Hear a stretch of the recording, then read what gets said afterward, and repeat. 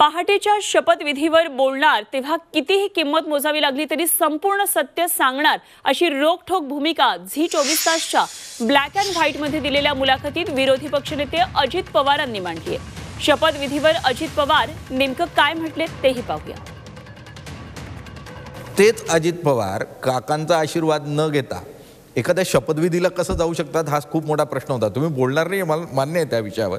पण मग तुम्ही या पूर्ण प्रकरणावर आपण कधीच बोलू नये असा निर्णय का घेतला? नाही नाही नाही नाही. मी कधीच बोलू नये म्हणलो नाही. तुम्ही नीट ऐका. मी त्यावेळेस म्हणलं की मला ह्या विषयावर आत्ता बोलायचं नाही. तो आत्ता शब्द ज्यावेळेस जाईल त्याच्यानंतर मी बोलीन. तो आत्ता शब्द कधी घालावायचा तो माझ्या हातात आहे. पण मी आत्ता मला बोलायचं नाही.